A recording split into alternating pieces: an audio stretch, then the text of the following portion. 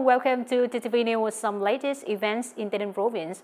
Ladies and gentlemen, in the morning of June 6, Secretary of the Provincial Party Committee, Chairman of the Provincial People's Council Nguyễn Thành Tâm, together with the delegate of the Provincial People's Council and Tây City, has a meeting with voters of uh, Ward 3 before the meeting of the two-level People's Council. At the meeting, the delegates of the People's Council reported to voters the results of the seventh session of the Provincial People's Council and the eighth session eighth session of the City People's Council, brought as symposiums to announce the tentative agenda of the upcoming two-level People's Council meeting. At the same time, notify the results of the response and resolution of the competent authorities on the issues raised by voters in the previous contact. During this meeting, voters of Warri, Tây City contribute many ideas around issues such as the supply of clean water to the people, the construction and operating the L-Little Forty South Street has not been uniformly synchronized. The functional sector needs to consider and completely solve the situation that some households let their dogs loose on the street, defecate indiscriminately, causing environmental pollution and loss of urban beauty. In the afternoon of June 6, the supervision delegation led by Ms. Nguyễn Thị Xuân Hương, head of the Culture and Social Affairs Department of the Provincial People's Council, had a working session with the Departments of Culture, Sport and Tourism on socializations in the field of socialization, culture, physical training and sport in the province. Previously, the Culture and Social Affairs Committee of the Provincial People's Council organized survey teams to work directly with the local People's Committee. Thereby, in the period of 2019-2022, under affected by the COVID-19 pandemic, the implementation of the policy of socialization in the fields of culture, physical training, and sports has achieved certain results attracting investment of over 100 billion Vietnam dong, mainly in the sports sector. However, the socialization of culture, physical training and sports fields still faces many difficulties and limitations. The planning and preparation of investment attraction is not good. Many procedures also cause difficulties for investors. In the period of 2019-2022, there were no approved socialization projects in the province. The Department of Culture, Sports and Tourism has reported to the monitoring team on reforms of solutions to overcome the above shortcomings. In particular, the department will continue to advise the Provincial Peace Committee to direct localities to plan and set aside a clean land fund to implement the policy of socialization in the field of culture and sports.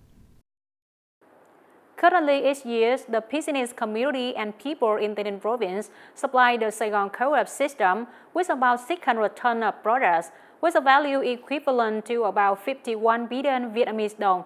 This number is considered quite modest compared to the potentials and trends of the province. In order to effectively implement the coordination work between Ho Chi Minh City and Tây Province in the spirit of resolution number 24 of the Politburo, Saigon Co-op has registered with the leaders of Tây Province figures and directions in the implementation of linkage, including continuing to develop Saigon Co-op's network in Tây with many modern commercial models that are different from current models Secondly, carrying out the digitization and implementation of e-commerce programs in line with the planning orientation of Ninh province as well as that of Saigon Co-op. Thirdly, replanning the source of raw materials, implementing product traceability to increase the consumption of agricultural products of Ninh province at the supermarket system of Saigon Co-op to 1,300 tons in 2023 at a price worth about 100 billion Vietnam dong by 2025. The total value will reach about 250 billion Vietnam dong. Fourthly, Saigon Co-op also registered to improve the quality of goods aiming to build a green and circular economy. Finally, Saigon Co-op wishes to join with business associations in Tây to develop seamlessly towards sustainable development with many industries such as logistics, e-commerce, tourism. According to the latest report of the Customs Department, the total export and import turnover of goods in the province since the beginning of this year has reached over 6.2 billion US dollar, down nearly 35% over the same period. This figure shows difficulties in production, business and consumption markets, in which export turnover reached over 3,100 million US dollar, down nearly 30% over the same period last year. Import number also decreased by nearly 40%. According to the Customs Department, the reason is due to difficulties in export orders, difficulties in production and business activities of enterprises, and some imported products such as cashew raw materials for production also decreased compared to the same period in 2022. Facing the above situation, the Customs Department has implemented many solutions, including holding dialogues with businesses to listen and promptly remove difficulties and obstacles, creating favorable conditions for businesses in the process of participating in import and export activities in the province. After the session of the Product Supply Chain Conference between Tây Ninh Enterprises and Ho Chi Minh City Union of Trade Corporators, Saigon Co-op, more than 30 products originated in Tây Ninh province was officially presented at 800 stores of Saigon Co-op. Nationwide. Among the specialty products of Tây Ninh province that are put into business at the supermarket system of Saigon Co-op, there are many products that have been certified with outcome products from star or more, such as Honey of Bảo An Company Limited, Super Rice Paper of Tân Yin Company Limited, Rice Rickets of Anvin Rickets from T-Base of Tumlan T1 Member Limited Liability Company. In order for people to access specialty products of Tây Ninh province, the system of supermarkets of Saigon Co-op such as Co-op Extra, Co-op Food, Wildlife in Ho Chi Minh City and Tây Ninh Province will be Tây Ninh Specialty Week, specializing in introducing and selling products with promotional prices up to 40%, last until the end of June 7, 2023. Recently, the Provincial Steering Committee Against Smuggling, Commercial Fraud and Counterfeiting, our Provincial Steering Committee 389, has proposed to departments and branches that are members of the Steering Committee to organize implementation of the Government Office announcement on the conclusions of Deputy Prime Minister Trần Lưu Quang at the working briefing meeting in the first quarter of 2023 and the direction of the People's Committee of the Province is effective. Accordingly, members of the steering committee 389 of province, district, towns, and city need to focus on doing well the main contents of professional work, ensuring timely detection, prevention, and handling of smuggling, commercial fraud, and counterfeit goods, especially those affecting consumers' health, exchange, share information, coordinate with functional forces to closely monitor shipments of border gate, pork transport, temporary import for re-export, goods subject to conditional trading, high tax rates.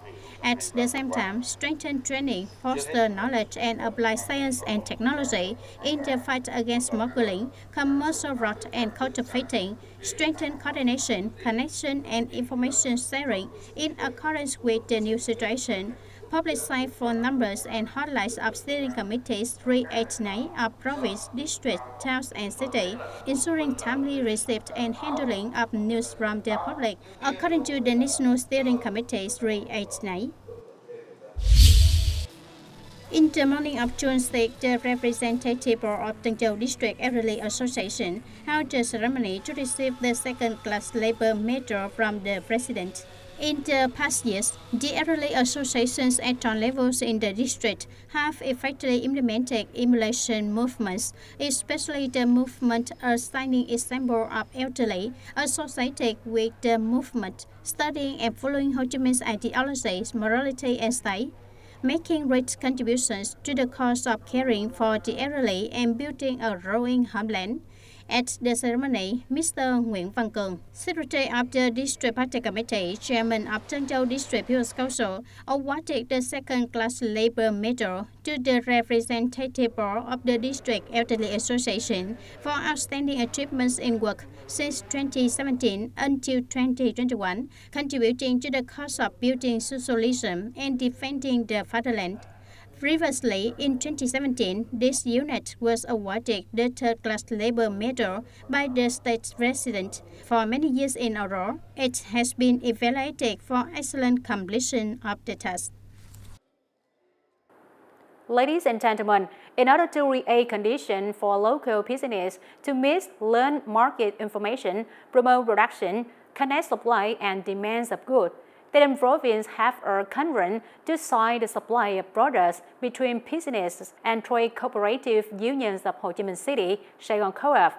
This is an opportunity, but also poses many challenges for businesses in the province in linking products consumption. In the past time, enterprises in Tây Ninh Province and Saigon Co-op have signed trade cooperation agreements to bring agricultural products to consumption at Saigon Co-op supermarket system.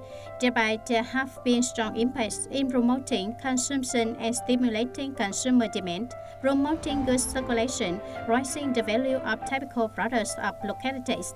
In particular, at the product supply signing conference between enterprises in Tây Ninh Province and Saigon Co-op which just held, 45 more products of more than 30 enterprises in the province continue to be signed for consumption.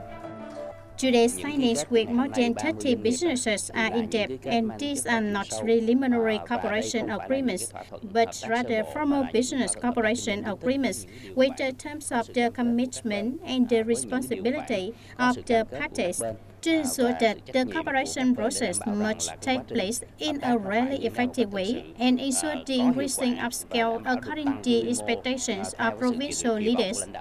With this signing activity, it creates a legal basis as well as a commitment to promote the implementation of the association more closely, effectively, and thereby enhancing the capacity of Tây Ninh enterprises in reaccessing to markets and fulfilling commitment in regional linkage. The activity of connecting businesses in Tây Ninh province with Saigon Co-op has opened new many opportunities to bring Tây Ninh specialty products closer to consumers throughout the country, aiming to conquer the world markets. However, this is also a huge challenge requiring the efforts of enterprises in improving production capacity and product quality. In terms of the scale of products in Tây Ninh, it is almost a relatively small scale. Therefore, the widespread supply of Saigon Co-op system in the country or even in the region has faced many difficulties. For today's signing, we have also proposed some solutions. Saigon Co-op will cooperate with businesses in Tây Ninh to set up a common intermediary to ensure that the items are gathered in a larger quantity and ensure a standard and Saigon Co-op also reduce fragmentation during the cooperation.